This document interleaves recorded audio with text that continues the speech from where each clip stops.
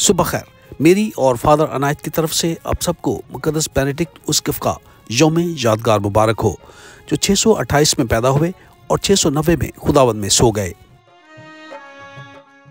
आज का ध्यान ज्ञान थाईलैंड से रेवरेंड फादर अनायत बर्नर ने तहरीर किया है और जिसे अमेरिका से तर्जुमा के साथ पेश कर रहे हैं नाइम हैरी। छह में मुकदस बेनेडिक्ट को सेंट पीटर एंड पॉल का एबट मुकर किया गया। छह सौ इकहत्तर में ये रायबाना ज़िंदगी के मतलब हदायत हासिल करने के लिए चौथी बार रोम गए। छह में मुकदस बेनेडिक्ट ने एक राहब खाने की बुनियाद रखी, जहाँ पर इन्होंने मुकदस बेनेडिक्ट के कानून को नाफिज किया। 678 में मुकदस बेनेडिक्ट एक बार फिर रोम गए, जहाँ पर वापसी पर ये अपने साथ ग्लिसियाई मौसीकी के माहिर को लेकर आए। आज की पहली तलावत इब्रानियों, उसका तीसरा बाब और उसकी सातवीं से चौदहवीं आय तक।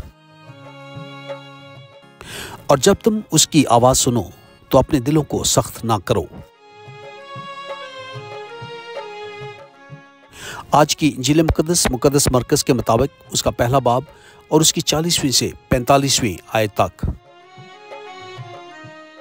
और एक कोड़ी उसके कदमों में आकर गिरा और उससे कहा कि खुदावन अगर तू चाहे तो मैं शिफायाब हो सकता हूँ।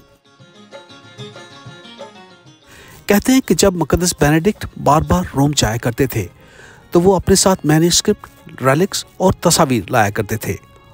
और ये तस्वीर उन्होंने मोनेस्ट्रीज को डोनेट कर दी थी।